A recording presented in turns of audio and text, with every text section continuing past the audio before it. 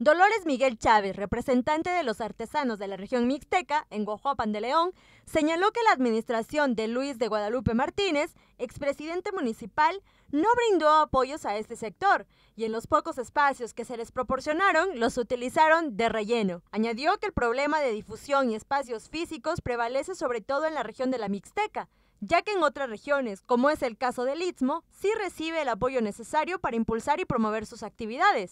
La Mixteca está olvidada en muchos aspectos, ¿no? pero principalmente en el económico y en el turismo. La administración acaba de cambiar, esta administración es del PRI, el licenciado, el ingeniero Martín Aguirre ha estado muy al pendiente, como artesanos nos dejó el espacio que eh, donde podamos promover nuestras cosas ahí en el ayuntamiento. La principal barrera que nosotros y que yo juzgo es eh, no hay un espacio, no hay un espacio aquí en Oaxaca para la Mixteca.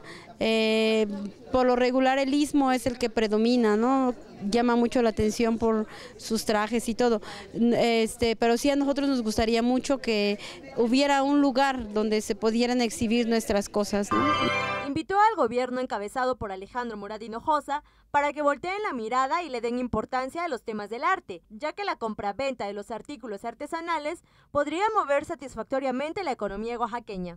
Fíjate que en el gobierno anterior con el licenciado presidente municipal Luis de Guadalupe, yo no tuve ningún acercamiento con él y tampoco no me interesó acercarme en ese, en ese aspecto. Eh, muchas de las veces dicen los artesanos y los llevan de relleno. Nosotros no somos artesanos de relleno, somos artesanos que queremos que nos den esa calidad humana a como tratan a los demás.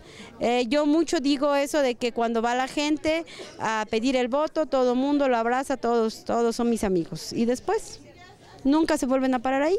Espero que sí, la voluntad ahora con, con este gobernador, este, yo espero que voltee más los ojos a las artesanías. Nosotros sí somos de los que creemos que hay que comprar las cosas hechas a mano, hay que comprar las cosas hechas en México. Con imágenes de Azarel Guevara, informó para MBM Televisión Cecilia Bautista.